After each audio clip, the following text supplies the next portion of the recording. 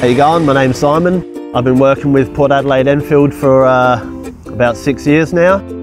Uh, right now I'm on the grass cutter. I'm one of the mowers on the streets. You'll probably see me going around just cutting your grass on the verges. So we get around about seven times a year, try and keep the grass nice and low. Uh, probably works out to getting around about every six weeks. I'm back in the same spot again. Working at Port Adelaide Enfield Council is, is really good.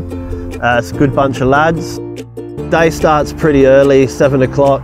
Got a couple of checklists to do, make sure the mower's up to scratch, make sure the ute's good to go, everything's fueled up. Some of the most interesting stuff I see around while I'm cutting is generally the people.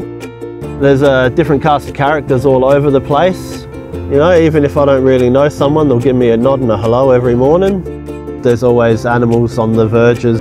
I've had to relocate a few lizards that are stuck in the high grass. That, that's always been fun. I'm a part-time conservationist. It can get a bit messy sometimes in the wet weather. I have to throw on a raincoat because it's not very comfortable in these clothes getting rained on, but it's probably better than the summer. When it gets hot, it gets really hot out here. Not the most comfortable weather to be cutting in the heat. Kind of got to keep my eyes open because uh, the last thing I want to do is to swerve out onto a road and be hit by a car. Your eyes always got to be open for something like that. If you're on the road and you see me coming, there's a, a high probability I can't see you, so you know, just don't get mad at me if I'm in your way.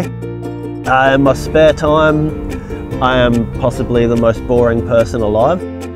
I do a bit of music, which can be fun. I get into a bit of hip hop and not normally something you'd hear from someone my age, but yeah, if I'm not doing that, I'm normally sitting around watching a movie. Say you're coming across a verge and you think, man, that's long, I wish the grass cutters would get here.